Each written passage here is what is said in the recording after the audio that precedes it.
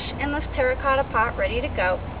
And this stand here with the three legs is one of my roadside treasures. And it seems like it's going to work perfect. There's a ring here, which is making room for this, which happened to fit just so. And I also have a glass funnel here I won on eBay.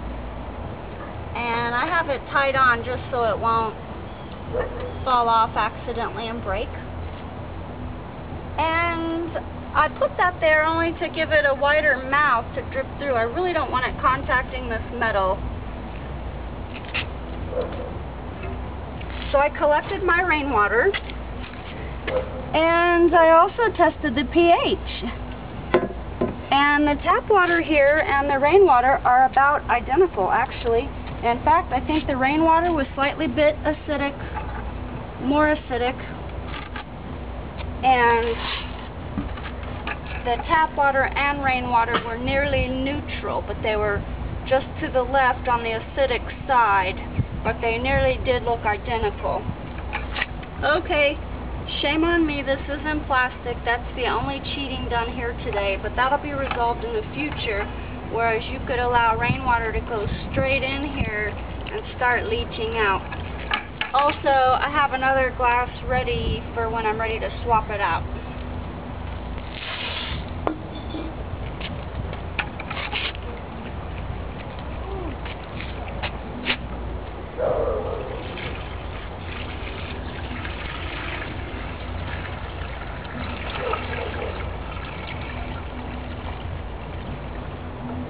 This tripod seems stable, but it is top heavy. Ideally, we would want something with a wider base, and also wider would help with um, being able to put a wider pot under there. But for now, this is great. This is great. But just to show you, the, the weight of this actually helps stabilize it this actually takes a while to go through. I'm going to show you what it looks like on top. A lot of the water is actually floating. It's not just, the ash is not soaking it up quickly at all. So, here's what we have going here. There's a bucket of rainwater over there. Now, what I discovered when I put my buckets out last night, the one over under the eave of the house actually filled up very fast and was just spilling over the whole time. Whereas the other bucket that was left out here, more under the sky, um, it didn't fill up all the way at all. And I got really fortunate yesterday when I shoveled the ash into this right before it started to rain let me tell you, luck was definitely on my side yesterday. Everything flowed really well.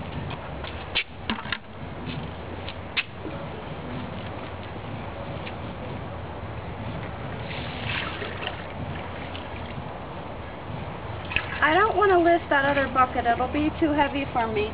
If I really, really had to, I could, but I'd rather not.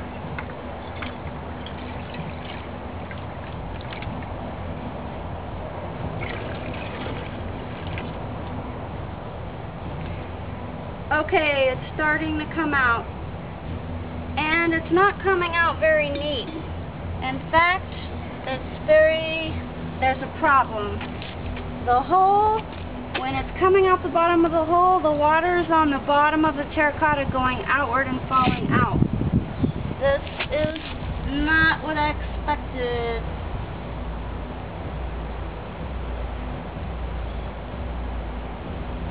Okay, I'm gonna try something. Hold on.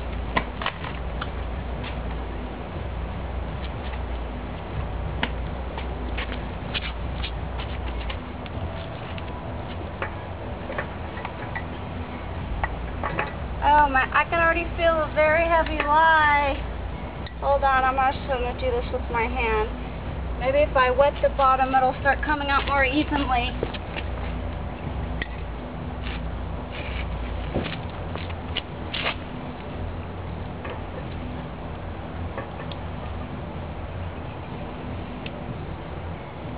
No, it's not working. Okay, now what do I do? I don't know what to do. This is bad. Shit.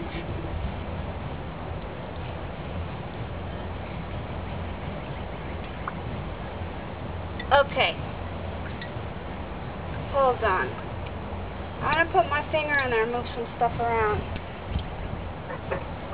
That's not helping. Shit.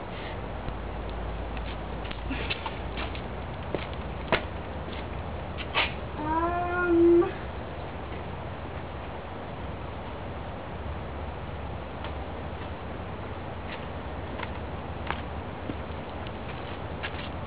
Honestly, I don't know what to do. I mean, I could try to plug it until I figure out something else.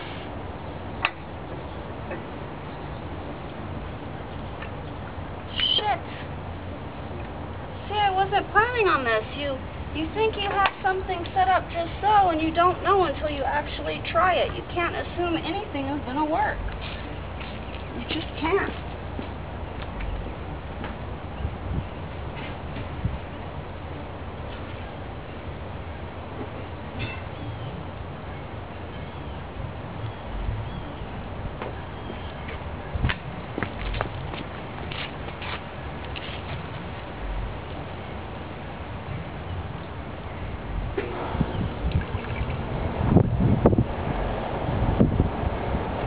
I think the cloth I have lining the bottom might be a problem.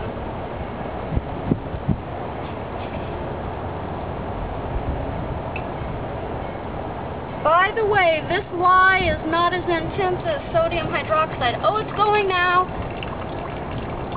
Yes. It's fine. But lye, when heated, is way more active. That's how I'm able to do this and not get burned. And at, uh, I was reading online, it's an excellent cleaner for floors or anything, jewelry. So, and I can feel how slick my hands are. It definitely, um, it's a surfactant that uh, reduces water tension. That's what allows the oil to mix with the water. Okay, this is fine. This is fine. I'm happy with this. Excellent. And it doesn't look like I really need this, but let me just try it.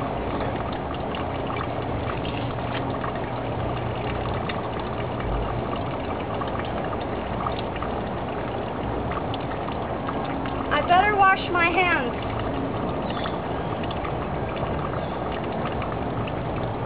I'll be back.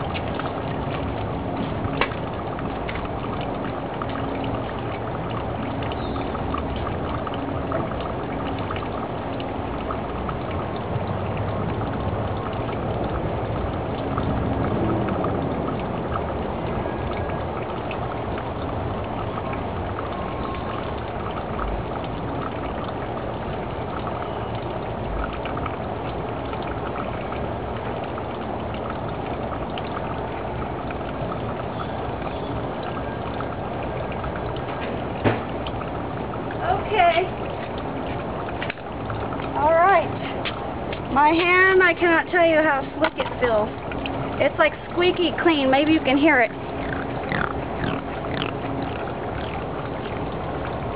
Anyway, my ring looks clean. Okay, so this is coming along. That that lye felt very, very um slick. Like it it should have a heavy alkalinity reading on the pH. In fact, I'll read it right now.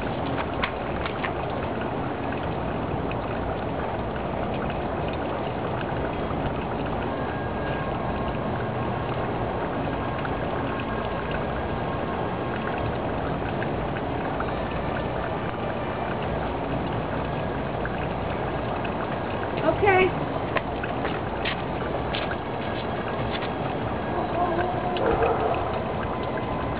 Oh, wow. Oh, yeah, this is the strongest ever. We're, it looks like we're already at 13 and a half. There's 13. 14's kind of covered up, but it's a really dark brown. And this is like right in the middle. This might actually be ready to float an egg or melt a feather. That would be amazing. I wouldn't even have to cook it down to concentrate it. I'll get a feather.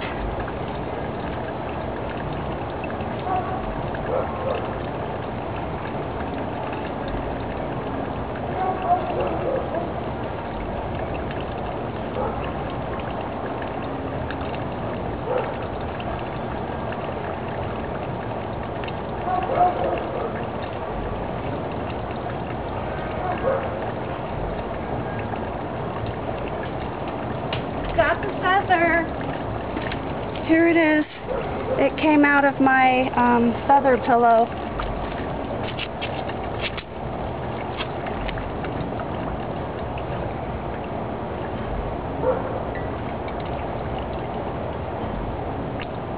If it doesn't melt this feather, it won't take long of cooking this down at all to where it will be concentrated enough.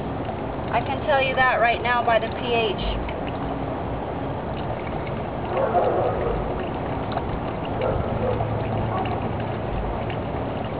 Okay, it's not melting, but it feels funny and like some of it came off on my hand. So this is pretty strong. This is this is really good.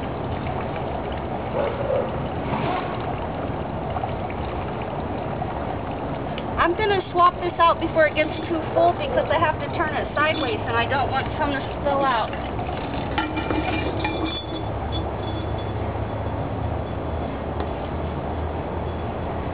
As this continues to leach, the color will become more and more clear. The first run has a lot of impurities, but after a run or two, you'll see it really become clear and more like a pale, pale golden yellow. See, this one's already like that. When I use this, I'm going to strain it as I pour it into the pot to get out some of the little debris here and try to keep my soap as pure as possible. But it doesn't hurt it if that gets in there. It's just, then it's like a body scrub. okay. I really like what's going on here. I'm going to go eat shortly after I deal with this, and then I'm going to put the lid on right now so it doesn't get rained in while I'm gone and start leaching out and overfill my container, if I even have a container there. I don't want it going all on the ground. Okay, this is great. Okay, thank you for watching me leach my ash from a variety of woods. I know palmetto wood is in there, oak wood is in there, Areca palm fronds are in there, and then there's the mystery log, the biggest piece of all, and mystery bark skin off of the dead tree trunk I saw that fell back in perfect sheets. Okay.